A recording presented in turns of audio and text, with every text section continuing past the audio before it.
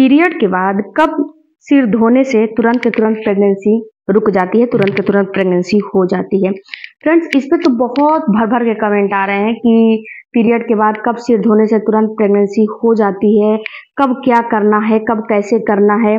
तो आज के वीडियो में मैं आपके सारे के सारे डाउट क्लियर करने वाली हूँ। हेलो फैमिली आपका हमारे चैनल में बहुत बहुत स्वागत है। फ्रेंड्स, होता क्या है कि आपने घर में, बाहर में, शास्त्रों में, हर जगह आपने इस पीरियड का उल्लेख सुना होगा। लेकिन कितने घरों में इसका नाम लेना भी वर्जित होता है? कितने लोग शर्म के मारे इसके बारे में कुछ समझते नहीं है, जानते नहीं है, इसीलिए उनको आगे चल के परेशानी होती है। इनफर्टिलिटी की शिकार वो महिलाएँ हो जाती है, क्योंकि हर वक्त अपनी मनमानी करती रहती है, किसी दूसरे का नहीं सुनती है। क्योंकि पीरियड में जो है रजस्वला परिचालिका हो गया या फिर आपके घर में जो दादी नानी होंगी, वो सभी लोगों ने बताया होगा कि पीरियड के तीन दिनों के बाद ही बार धुलने चाहिए।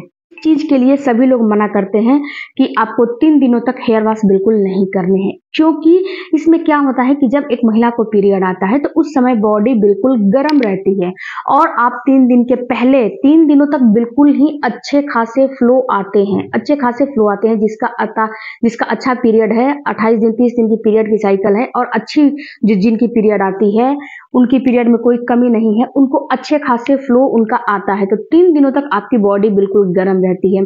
चौथे दिनों के बाद, चौथे दिनों में आपको अपना हेयर वॉश यानी कि पूरा नहाना चाहिए।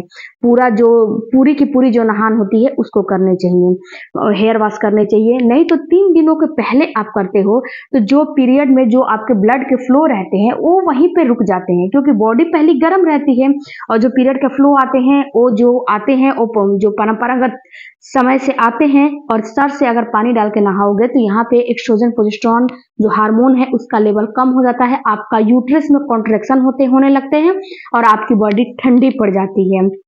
जब बॉडी ठंडी पड़ जाती है तो इसमें होता क्या है कि जो आपका पीरियड का फ्लो आने मतलब जो कि, जो अभी ब्लड अंदर बचा है वो जो बाहर निकलने वाला था, वो वो, वह वहीं पे रुक जाता है। और वहीं पे रुकने की वजह से वो क्या होता है क्लॉट्स के रूप में जो है चेंज हो जाता है। ऑक्सीडाइज होकर क्लॉट्स के क्लॉट्स के रूप में चेंज हो जाता है। जब क्लॉट्स के रूप में चेंज हो जाता है तो ये महिलाएँ, अगर आपको इस चीज़ को समझना है तो एक, इस चीज़ को आप थोड़ा एक बार करके, जो है इस्तेमाल करके देखिएगा तो आपको पूरी की पूरी बात समझ में आ जाएगी। तो वहाँ पे वो चीज़ क्लॉट्स के रूप में बदल जाता है, और जो अगला पीरियड जो अगले महीने वाला पीरियड आपका आएगा तो वही क्लॉट्स आपको आने लगेंगे, और यहीं पर आपका हार्मोन डिसबैलेंस हो जाएगा, और आपकी जो पीरियड की फ्लो है, वो जो है डिसबैलेंस आने लगेगी, आपका पीरियड जो है डिसबैलेंस हो जाएगा। दूसरी बात फ्रेंड्स कि यहीं पे अगर आपका जो पीरियड है, आ रहे हैं, आप जो है निगेटिविटी सोच रहे हो कॉन्टेक्ट बना रहे बना रहे हो, या फिर और जो है अनहाइजिक कुछ भी कर रहे हो तो यहाँ पे भी आपको समस्या, दिक्कत आने आने लगेगी, क्योंकि पीरियड के फ्लो में आपको कभी भी कॉन्टेक्ट नहीं बनाने चाहिए, क्योंकि इसमें इन्फेक्शन का चांस बहुत ज़्यादा होते हैं। कम से कम पाँच दिनों तक तब बिल्कुल नहीं बनानी चाहिए। तीसरी बात फ्रेंड्स कि चौथे दिन आप हेयर वॉश कर लीजिए और हेयर वॉश करने के बाद ये नहीं है कि अभी तो आपका पीरियड खत्म हो गया, अभी आपका पीरियड चल रहा है। अभी आपका जो पीरियड का फ्लो है थोड़ा कम हुआ है, अभी चल रहा है, एक से दो दिन और अगर अच्छा खासा पीरियड आता है तो एक से दो दिन हल्का फुल्का माइल्ड सा आएगा ही आएगा। उसके बाद आपको छठवें दिनों से आपको कांटेक्ट में रहना चाहिए। अगर आपके पीरियड की साइकिल शॉर्ट है तो छठवें दिनों से कांटेक्ट में रहोगे, यानी कि 21 22 दिन 24 दिन 25 दिन की है तो छठवें दिनों से कांटेक्ट में रहना शुरू करोगे। और कम से कम 10 से 12 दिन तक आप कांटेक्ट आपको बनाने हैं। अल्टरनेट डेज़ पे एक दिन छोड़ के एक दिन बनाने हैं। तो ऐसे में आपको तुरंत के तुरंत प्रेगनेंसी हो जाती है। अगर फ्रेंड्स आपके पीरियड की साइकिल लॉन्ग है तो छठवें दिनों से कॉन्टेक्ट बनाने से कोई फ़ायदा नहीं है। अगर बनाना चाहते हो बना लो कोई दिक्कत नहीं है। लेकिन आपको प्रेगनेंसी नहीं होगी क्योंकि इसमें आपका ओवुलेशन नहीं होगा। इन छठवें, सतवें दिनों में आपका दस, दसवें, बारहवें दिनों तक ओवुलेशन नहीं होगा। अगर पीरियड की साइकिल जो है, मान के चलिए कि 28 दिन और 30 दिन की है तो आपका ओवुलेशन का डेट जो है होगा, चौदहवें दिन, सोलहवें दिन होगा। तो जब दसवें, बारहवें दिन के बाद से अगर आप अल्टरनेट डेज़ पे जो है कॉन्टेक्ट बनाओगे तो आपको प्रेगनेंसी हो जाएगी। क्योंकि इस समय आपका ओवुलेशन जो है ओवुलेशन का होता है, ये नॉर्मल पीरियड पीरियड की साइकिल कंसीडर किया जाता है। अगर आप जो हर महिला के पीरियड का जो साइकिल होता है अलग अलग होता है। आप अपने पीरियड के साइकिल के हिसाब से देखिएगा कि आपका कितने दिनों के, का पीरियड आता है, कितने दिनों पे आता है, कितने दिनों पे नहीं आता है। हर महिला का ये कोई ज़रूरी नहीं है कि अट्ठाईस दिन पे और तीस दिन पे आता है। अट्ठाईस दिन, तीस दिन, पैंतीस दिन, ये बिल्कुल नॉर्मल साइकिल होती है।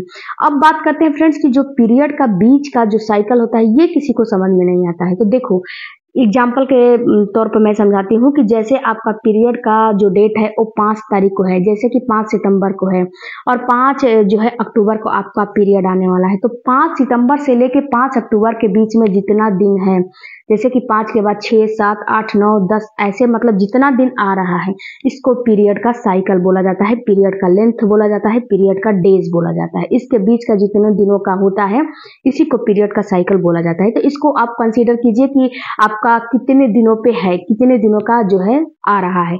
आपको ऐसे नहीं समझ में आ रहा है तो आप एक काम करिए कि कैलेंडर के मेथड से समझिए। इस पर मैंने एक डेलिकेटेड वीडियो बना के रखे हैं, उस वीडियो को भी चेकआउट करिएगा। कैलेंडर पे अपना एक एक डेट जो है, अपना लिखते जाइए और लिख के और उसके बाद अपना जो है डेट जो है कैलकुलेट कर लीजिए। और तीसरी बात फ्रेंड्स कि जब महिला को पीरियड आते हैं, उस समय महिलाओं को बहुत ज़्यादा हैवी काम हैवी वर्कआउट हैवी चीज़ें हैवी तला भुना बिल्कुल भी अवॉइड करने चाहिए। उस समय क्या होता है कि उस समय जो आपकी बॉडी होती है ना, पूरी की पूरी हीट होती है। इसी समय महिलाएँ गलतियाँ करती हैं, इसी समय गलतियाँ करने की वजह से वो जो है फर्टिलिटी का शिकार हो जाती है, उनको फर्टिलिटी हो जाता है, उनको जो है शादी होने के बाद उनको बहुत सारी समस्याएँ होने लगती हैं। एक बात और यहाँ पे मैं क्लियर करूँगी फ्रेंड्स कि बहुत ज़्यादा जो ये भी बात आ रहा है कि मेरा जो है मैरिज से पहले, शादी से पहले मेरा पीरियड सही आते थे, लेकिन जो ही मेरी शादी हुई तो मेरा पीरियड गड़बड़ हो गया, ऐसा क्यों? तो देखो डियर जब एक लड़की की शादी होती है तो वहाँ पे बहुत सारे उतार चढ़ाव होते हैं, बहुत ज़्यादा टेंशन होता है। इसलिए जो पीरियड है, ये डिसबैलेंस हो जाते हैं। बहुत ज़्यादा घर का टेंशन परिवार का टेंशन हस्बैंड का टेंशन उसके बाद जो आपकी पहले बॉडी थी, यानी कि पहले आप कांटेक्ट वगैरह में नहीं रहते थे, लेकिन अब जो है वो सारा काम आपको करना पड़ेगा। तो इसलिए क्या होता है कि आपके अंदर के जो हार्मोन है ना, उतार चढ़ाव आने लगते हैं उस हार्मोन में, क्योंकि वो चीज़ नई नई आपके लिए है। और यही जब छः महीना, सात महीना, साल भर वो चीज़ में जब आप रह रह जाओगे और उस चीज़ को एक्सेप्ट आपकी बॉडी कर लेगी तो जब आपकी बॉडी उस चीज़ को एक्सेप्ट कर लेती है तो उस चीज़ को बिल्कुल हुई पटरी पर उस चीज़ पटरी पे आ जाती है, उस, वो चीज़ सही हो जाती है। ऐसा नहीं है कि डिसबैलेंस है तो डिसबैलेंस ही चलता रहेगा, नहीं। उस चीज़ को जैसे कि आपने स्ट्रेस टेंशन तनाव लिया तो वो चीज़ हो जाएगा। हार्मोन जो है डिसबैलेंस हो जाएगा। तो आप अपने खान पान टेंशन तनाव को बिल्कुल चेंज कर दीजिए और इस समय जब मैरिज हो जाती है तो उस समय आपकी लाइफ बिल्कुल ही चेंज हो जाती है। तो जो पहले की लाइफ थी और जो अब की लाइफ थी, इसमें ज़मीन और आसमान के अंतर हो जाते हैं। तो इसको बैलेंस जब करोगे तो ये चीज़ सारी जो समस्याएँ आ रही हैं, वो चीज़ सही हो जाएगी। लेकिन इसको बैलेंस करना आपको है। आप इसको बैलेंस करेंगे तो सही हो जाएगा, बहुत ज़्यादा टेंशन मत लीजिए। दूसरी बात फ्रेंड्स कि पीरियड को बहुत आपको समझना पड़ेगा, जानना पड़ेगा, और इसमें बहुत, जैसे कि इस पर मैंने एक डेलिकेटेड वीडियो भी बना के रखे हैं, अगर उस उस वीडियो को देखोगे तो आपको समझ में आएँगे कि पीरियड में कौन कौन सी पर्टिकुलर चीज़ नहीं करनी चाहिए और कौन कौन से चीज़ करनी चाहिए। आई होप फ्रेंड्स कि आपके सवालों का मैंने जवाब देने की कोशिश की है तो चैनल को ज़रूर सब्सक्राइब कीजिएगा और कोई भी क्वारी होगी तो कमेंट बॉक्स में ज़रूर दीजिएगा। मिलते हैं। अगले वीडियो में तब तक थैंक यू फॉर वॉचिंग आप अपना ख्याल रखिए और मेरा इंस्टाग्राम आईडी